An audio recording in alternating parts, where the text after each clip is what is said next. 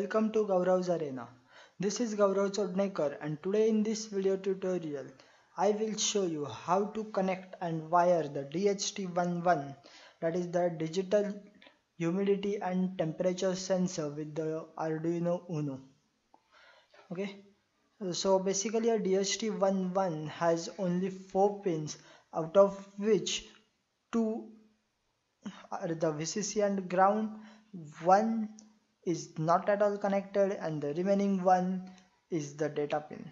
So the first is the VCC then the second pin is the data pin then the third pin is not at all connected and the fourth pin is the ground so now let us have a look at the code of the DHT11 for that you need to include the DHT libraries. In my other video you can find how to import import the libraries. So all you have to do is to download the libraries in the zip format and then include it. So I have already included the DHT11 library.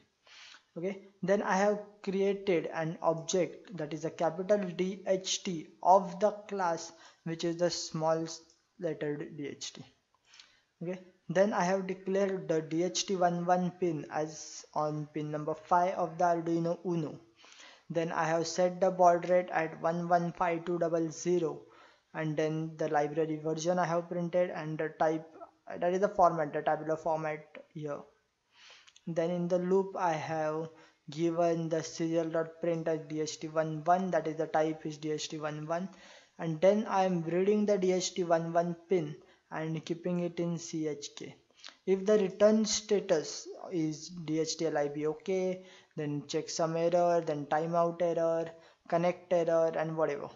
So these types of errors are handled.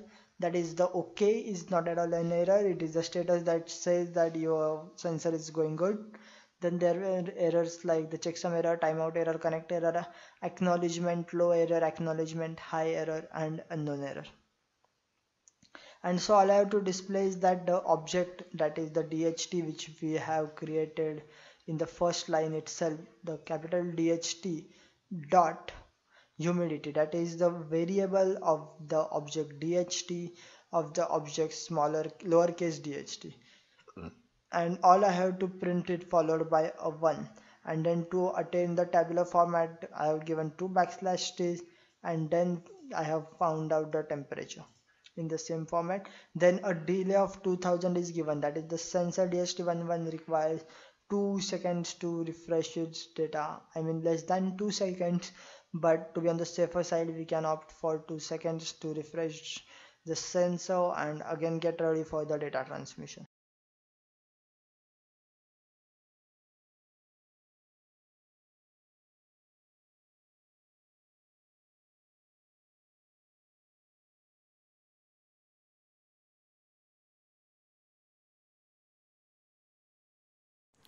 So now let us start making the circuit for the DHT11. So all we will be requiring is a Uno, Arduino Uno,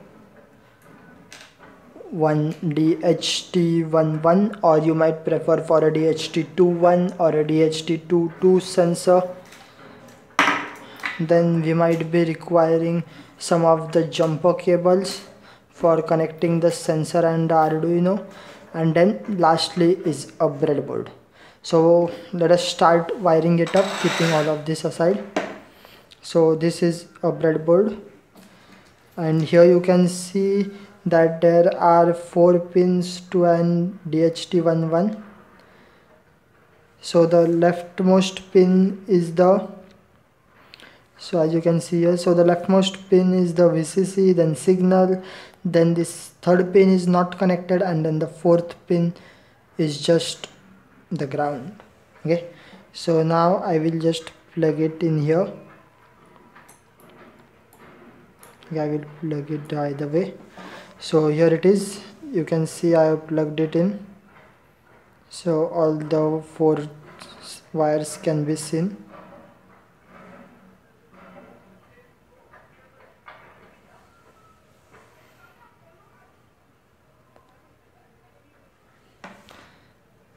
so now here it is. Now this is my Arduino Uno.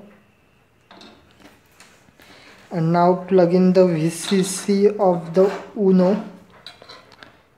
Okay here I go. This is ground ground and this one is the VCC plug in the VCC here.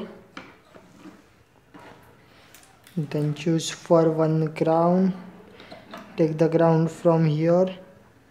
Just connect it here okay as you have seen in the code that we have connected the digital pin that is the output pin of the DHT11 to pin number 5 so here we go. We have connected the output pin from the DHT11 to digital pin 5 and have declared it as input. Okay. Now I will show you various things in the output but before that just plug in the Arduino and connect it.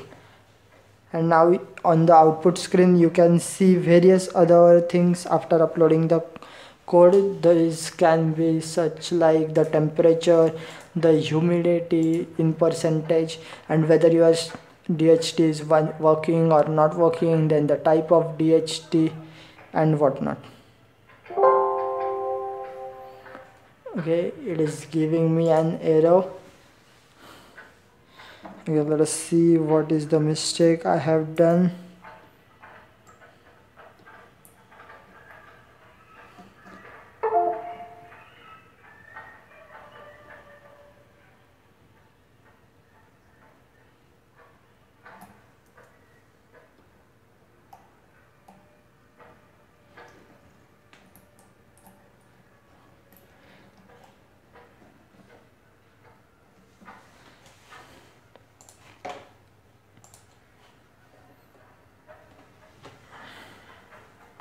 okay the original connection was only the right connection and so I have started to receive the temperature of about 38 degrees Celsius and humidity around 27 degrees Celsius.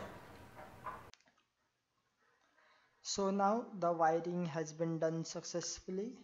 I guess the wiring is right as there are only three wires to be connected.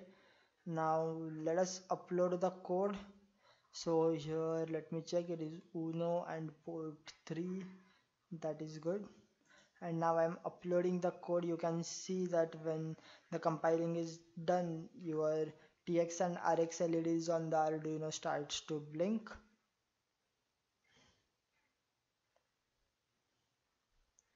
Okay the sketch is still compiling and it's now uploading. And that's good to go now. There are no errors. It is done uploading. Now just click on serial monitor and here it is. But if you are not able to see your output just go to the bottom right. And if it is something like 9600 you might get output like some symbols and blank character. Just change it to 115200 baud that is the baud rate of communication from Arduino to the PC and immediately you can see your language. See here the type is the DHT11 the status is okay. That is means my sensor is running fine I'm having an humidity of 31% in the air. The temperature is also 31 degrees Celsius. If you take something fire around it for a five five minutes approximately in a closed room then the temperature will start to rise. But I don't suggest doing any such acts. You can even monitor your temperature with your air conditioning on and off. Then it can give you a very good results to be accurate with it doesn't match up with the shown on the AC vent or the air conditioning machine. But then also the temperature is very good and accurate to be that to be true. So that's all for now. I hope you like this video and see you soon